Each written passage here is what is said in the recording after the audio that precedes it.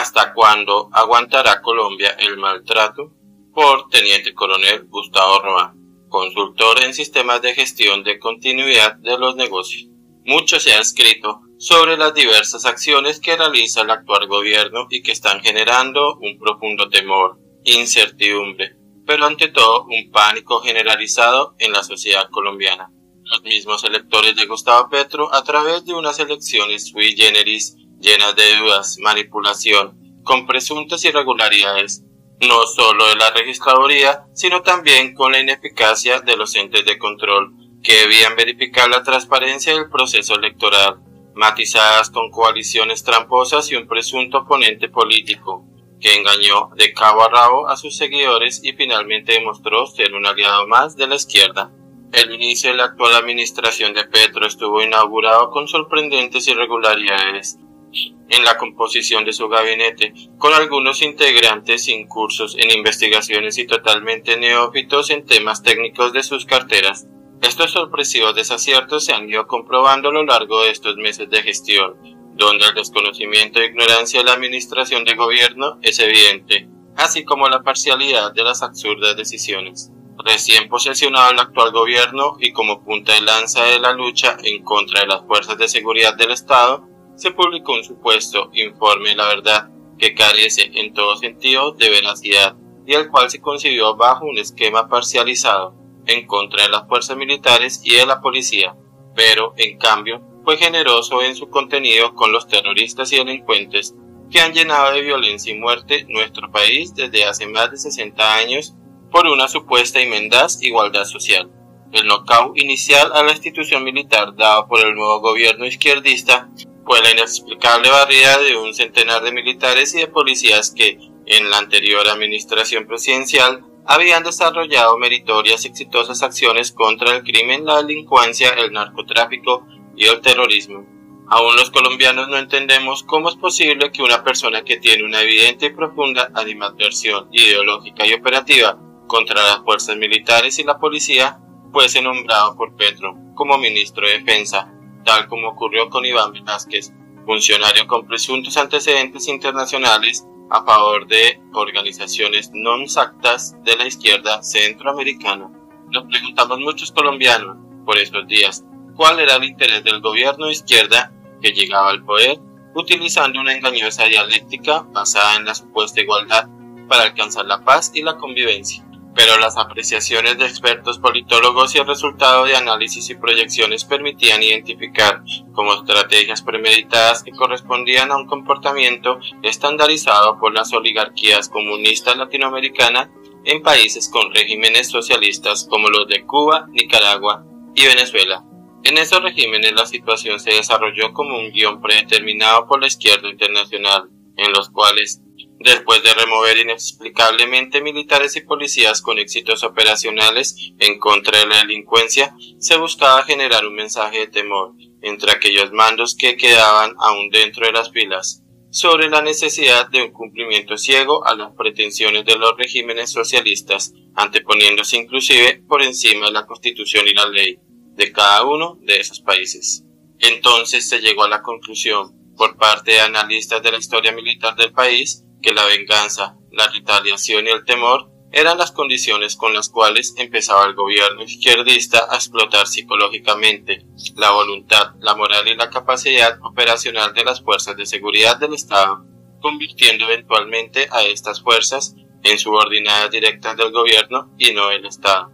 en beneficio de sus intereses personales, económicos, partidistas e ideológicos. Considerables recortes presupuestales y del pie de fuerza limitación de funciones, amenazas públicas, mensajes de retaliación, aborto de operaciones en contra de terroristas, narcotraficantes y delincuentes y últimamente la justificación y minimización de gravísimos hechos por parte de ministros y voceros del gobierno ante el irrespeto, la humillación, el secuestro y el cobarde asesinato de humildes hijos de Colombia, que hacen parte de las filas de nuestro ejército y de nuestra policía. Pero lo más grave aún es que estas bandas criminales están compuestas por supuestos indígenas y cultivadores de coca, que conforman la fuerza de choque de los carteles internacionales de la droga. Entonces viene la pregunta irada de la mayoría de los colombianos. porque este gobierno le está dando pan a los delincuentes, a los antisociales, a los narcotraficantes y a los terroristas, y por qué razón le está dando garrote a nuestros soldados y policías.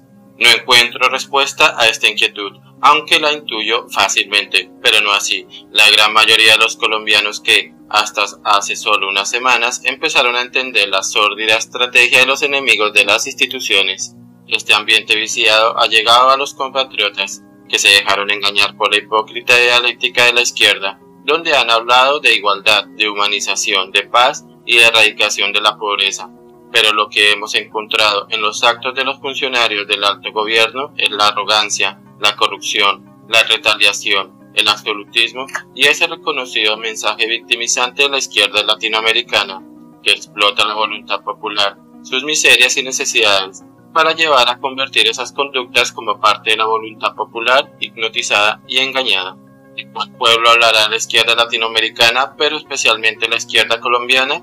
Vemos cómo se manipula con falacias, mentiras y engaños el pensamiento y la voluntad popular, explotando la ignorancia y el fanatismo de sus adeptos para raponear los derechos y las facultades, convirtiéndolas en poderes omnímodos que en un futuro lejano les permitirá generosos beneficios personales a cambio de la destrucción de la economía, de la estructura social, del Estado de Derecho, de la historia, de las costumbres, del futuro, de los recursos naturales y del desarrollo y progreso cíclico y permanente de la nación. Colombia entera ve con preocupación el avance inusitado de la pandemia de la reformitis, que busca destruir lo bueno, no corregir lo regular, pero en cambio se toma como axioma lo malo y perverso. Reformas sin ningún fundamento en lo económico, en la salud, en lo laboral, en las pensiones, en la educación, en el comercio, en nuestros recursos, en el comercio internacional, en la política macroeconómica y monetaria y en todo aquello que les permita tener réditos personales y electorales.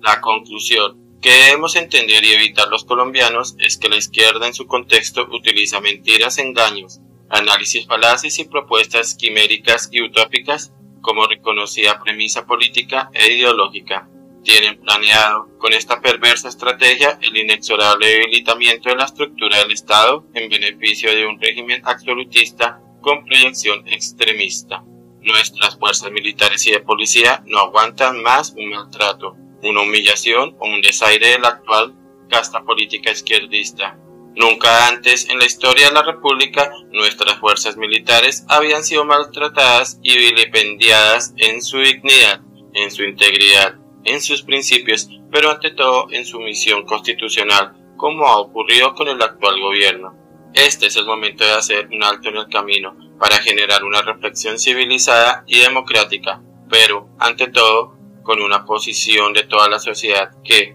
con firmeza, exijo a Petro coherencia en la política social y el orden constitucional. Los mandos militares deben exigir en nombre de la institucionalidad un trato digno y respetuoso del gobierno, pero especialmente el actual ministro de Defensa hacia sus fuerzas militares. Se debe analizar como estrategia de defensa nacional y constitucional cuál es la razón que motiva al actual gobierno para proteger a los antisociales como ciudadanos de primera clase y en cambio desatender la misión homogénea, constitucional y coordinada de todas nuestras instituciones, entes de control, fuerzas militares, policía y sociedad desestimulando el camino hacia un inexorable estado fallido, tal como podría ocurrir en un futuro no lejano.